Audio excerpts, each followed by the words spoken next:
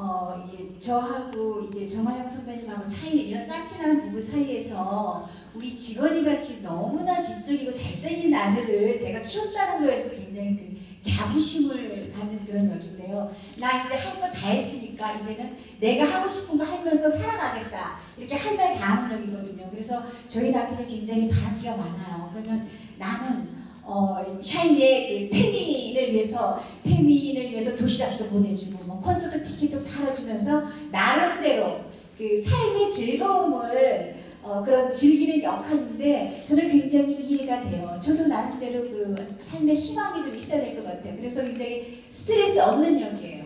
정말 샤이니 템이 너무 예뻐요. 보면 볼수록 예쁘더라고요.